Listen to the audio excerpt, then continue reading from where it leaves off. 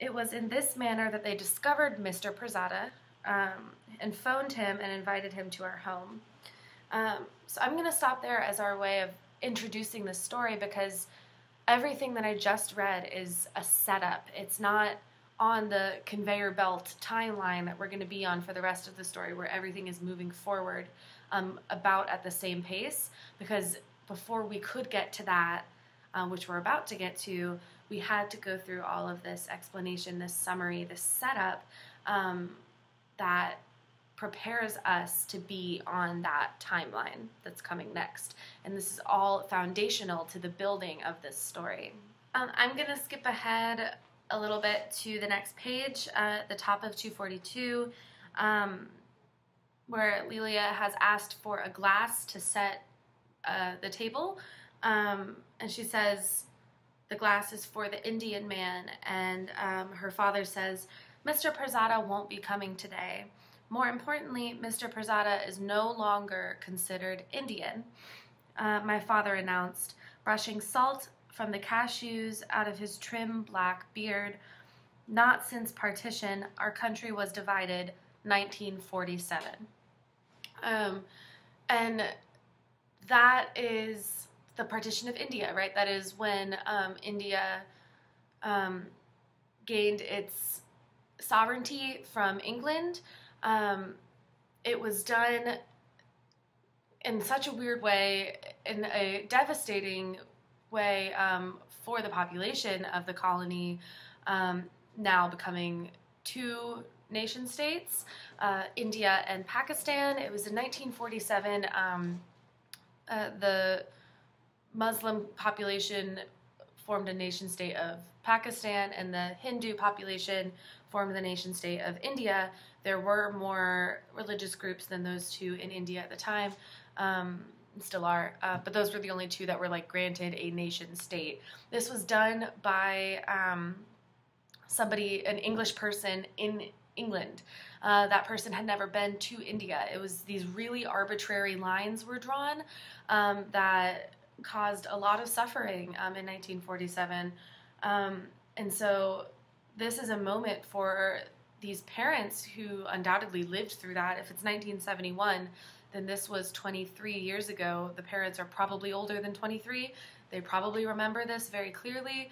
Um, they might have been young adults at the time. Um, and this was a really formative moment for them in, in terms of their national identity.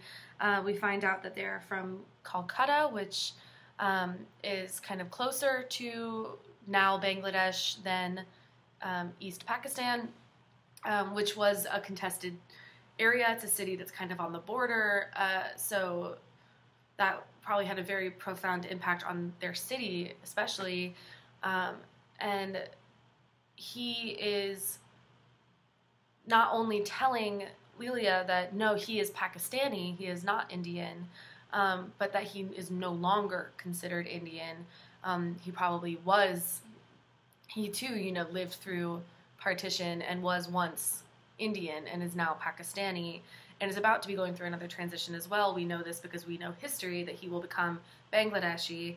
Um, and so, because this story is building a history as well um, alongside the narrative that's taking place in this meanwhile time, like this meanwhile time in Massachusetts, um, that is contemporary to this history that you know we could google it we could read a book we could figure out what happened. Um, and it is Jhumpa Lahiri's task as the writer of this story to include some of the history of what was happening in um, East Pakistan in 1971 um, so that we best understand this narrative of what was happening in Massachusetts in 1971 um, with this Indian family and this man from Dhaka. Um, and so next, I want to jump to. Oh, I want to summarize uh, a little bit. We know that Mr. Pirzada is upset, or not Mr. Pirzada, excuse me, that um, Lelia's father, who the last name we never get, I don't think, um, says, you know, what are you learning in school? You're not learning any of this. And uh, do you study this? Do you study history, geography? And at the bottom of uh, page 243, we get another series of lists. So I want to show you that with this paragraph now. Um, Lilia has plenty to learn in school, my mother said. We live here now. She was born here. She seemed genuinely proud of that fact as if it were a reflection of my character. In her estimation, I knew I was assured of a safe life, an easy life, a fine education, every opportunity. These are four things that you can have in America, um, being born in America, according to um, Lilia and Lilia's mom. Um, I would never have to, and then here's another list, and this list is saying something else. Uh, I would never have to eat rationed food or obey curfews or watch riots from my rooftop or hide neighbors in water tanks to prevent them from being shot, as she and my father had. Um, so now she's describing their lives in India um, by saying that she would never have to have those experiences in Massachusetts. Um, and now we're in dialogue. Imagine having to place her in a decent school. Imagine having her read during power failures by the light of kerosene lamps. Um, imagine the pressures, the tutors, the constant exams. Um, and that is an imagined, uh, a what if scenario, right? That is what would Lilia's life look like if we were still in India? She would have these things to deal with. Um, of course, she doesn't know about those things.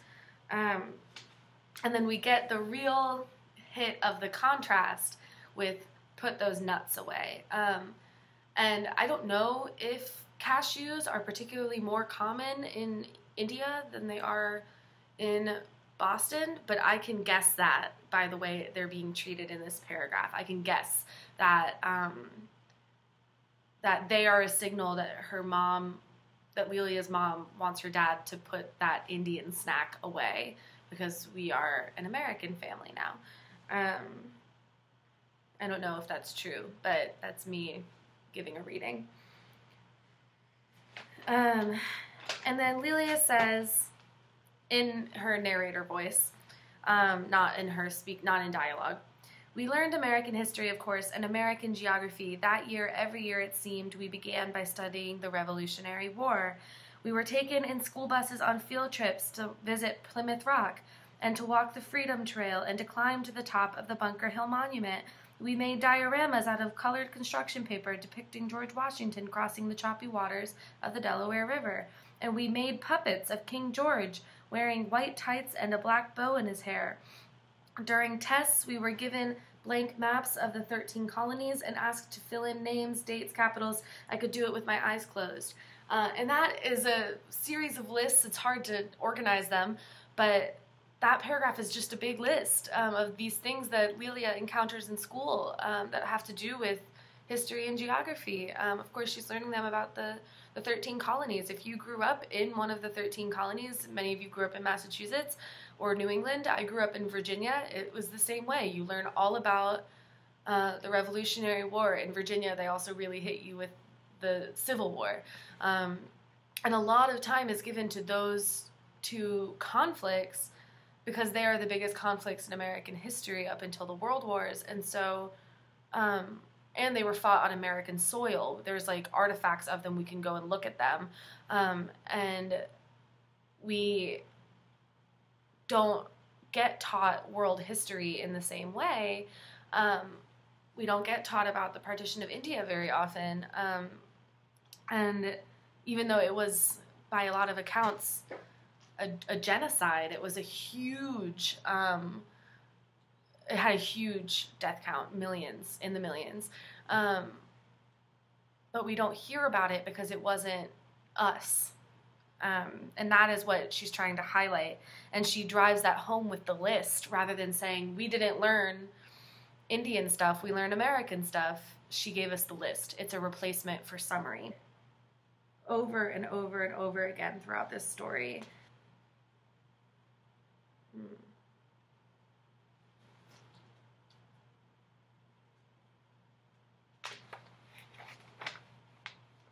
Something effective that you could do as a student of this story um, is go through and find all the lists.